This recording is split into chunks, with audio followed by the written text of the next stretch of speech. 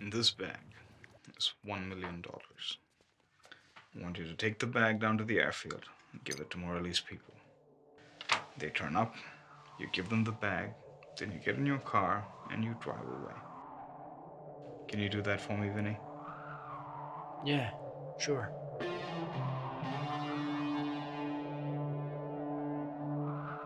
What's the worst that can happen if it went missing?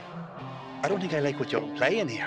Every other delivery guy that I've used, there's been no issues. The first time I trust you to do it, and the money goes missing. There's a couple of bozos out front talking about hiding stolen money. The delivery. The whole thing was a setup. Morelli's gone too far this time. You've got to sort this out, Tony. How about not stealing a million dollars from a psychopathic crime boss? Oh, that's right. Too late. Bring me my money.